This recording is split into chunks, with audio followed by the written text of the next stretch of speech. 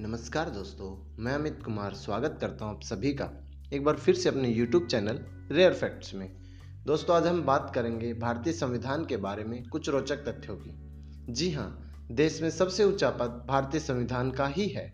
सरकार, supreme court, राष्ट्रपति, प्रधानमंत्री कोई भी इससे ऊपर नहीं है। सब इसके दायरे में रहकर काम कर रहे हैं। भारत का संविधान एक हाथ से लिखा गया दस्तावेज़ है, न कि मशीन से। इसे प्रेम बिहारी नारायण राय जादा ने अपने हाथ से इटैलिक स्टाइल में लिखा था और इसके हर पन्ने को शांति निकेतन के दो कलाकार, व्यवहार, राम मनोहर सिन्हा और नंदलाल बोस ने अपने हाथों से सजाया था। भारतीय संविधान विश्व का सबसे लंबा लिखित संविधान है। यह 25 भागों में बटा हुआ है, जिसमें 448 आर्टिकल्स और 12 शेड्यूल्स है। इसके अंग्रेज़ी संस्करण में कुल एक लाख सत्रह हज़ार तीन सौ उनहत्तर शब्द है। जिन्हें लिखने में कुल दो सौ चौवन पेन निब्स का इस्तेमाल हुआ था और छः महीने का समय लगा था। इस पूरे कार्य पर लगभग 6.3 करोड़ रुपए खर्च हुए थे। संविधान के अंग्रेज़ी और हिंदी संस्करण की असली कॉपी संसद भवन की लाइब्रेरी में हिलियम के बॉक्स में रखी हुई है। संविधान बनाने के लिए पहली सभा 9 दिसंबर 1940 को बैठी थी और इसे बनाने में दो साल 11 महीना और 18 दिन लगे थे।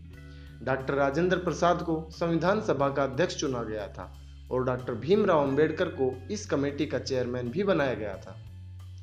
संविधान सभा के सदस्यों की कुल संख्या तीन तय की गई थी, जिनमें दो ब्रिटिश प्रांतों के प्रतिनिधि, चार चीफ कमिश्नर क्षेत्र के प्रतिनिधि और तिरानवे देसी रियासतों के प्रतिनिधि शामिल थे।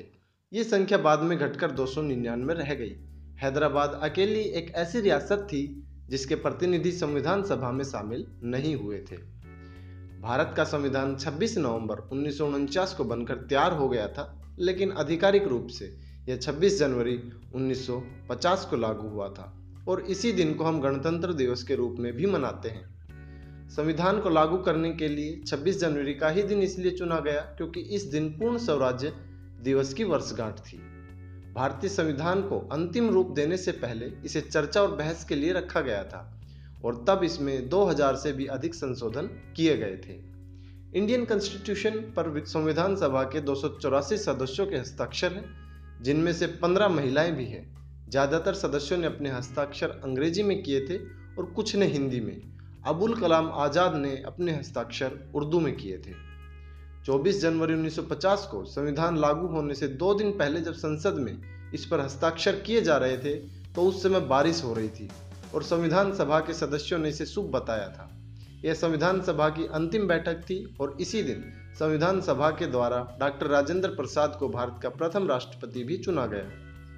डॉक्टर भीमराव अंबेडकर, जो स्वतंत्र भारत के पहले कानून मंत्री और संविधान सभा की कमेटी के चेयरमैन भी थे, उनको भारतीय संविधान का पिता भी कहा जाता है। भारतीय संविधान दुनिया के 10 अलग अलग देशों से लिया गया है। इसलिए इसे उधार लिया हुआ बैग भी कहा जाता है। संविधान का मूल ढांचा गवर्नमेंट ऑफ़ इंडिया एक्ट 1935 पर आधारित है। पंचवर्षीय योजना का विचार सोवियत संघ से लिया गया, सामाजिक आर्थिक अधिकार का विचार आयरलैंड से लिया गया, व्यापार और कॉमर्स के प्रावधान ऑस्ट्रेलिया के संविधान से लिए गए हैं। भारतीय संविधान में आपातकालीन प्रावधानों को जर्मनी से लिया गया है। भारत में जिस कानून के तहत सुप्रीम कोर्ट काम करता है, वो जापान से लिया गया है। भारतीय संविधान की प्रस्तावना में लिबर्टी, इक्वलिटी और फेटर्निटी शब्द फ्रांस क्रांति से प्रेरित है। फेडरल सिस्टम संघ और राज्य के रिश्ते और संघ राज्य के बीच पावर का बंटवारा कनाडा के संविधान से लिया गया है। भारतीय संविधान की प्रस्तावना अमेरिका संविधान की प्रस्तावना से प्रेरित है। अमेरिकी संविधान की प्रस्तावना और भारतीय संविधान की प्रस्तावना दोनों ही वी द पीपल से शुरू होती है। भारतीय संविधान भारत के नागरिकों को वर्तमान में छह मौलिक अधिकार देता है, जो अमेरिका के संविधान से लिए गए हैं। समानता का अधिकार, स्वतंत्रता का अधिकार, शोषण के विरुद्ध अधिकार, धर्म की स्वतंत्रता का अधिकार, संस्कृति और शिक्षा संबंधी अधिकार, संवैधानिक उपचारों का अधिकार। दिलचस्प बात यह है कि शुरुआत में संपत्ति का अधिकार भी एक मौलिक अधिकार था। भारतीय संविधान के अनुच्छेद 31 में कहा गया था कि किसी भी इंसान को उसके संपत्ति से वंचित नहीं किया जा सकता है। लेकिन संविधान 44 संशोधन में 1978 में इस अधिकार को हटा दिया गया। भारत के राष्ट्रीय प्रतीक सारनाथ, जिसमें शेर, अशोक चक्र, सांड और घोड़े भी है, को 26 जनवरी 1950 को ही अपनाया गया था। भारतीय संविधान की प्रस्तावना के अनुसार, भारत एक संघीय, समाजवाद, धर्मनिरपेक्ष और लोकतंत्रीय गणराज्य है। समाजवाद शब्द को 1976 में बयालीसवें संशोधन के माध्यम से जोड़ा गया था।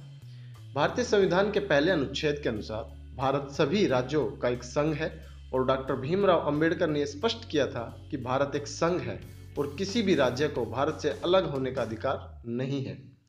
संविधान के प्रति जागरूकता को बढ़ावा देने के लिए 26 नवंबर के दिन को संविधान दिवस के रूप में मनाया जाता है। भारत के संविधान को दुनिया का सबसे बेहतरीन संविधान माना जाता है, क्योंकि अभी तक हमारे संविधान में सिर्फ़ 102 संशोधन हुए हैं। तो दोस्तों, ये थी आज की वीडियो। आई होप आपको वीडियो ज़रूर पसंद आई होगी।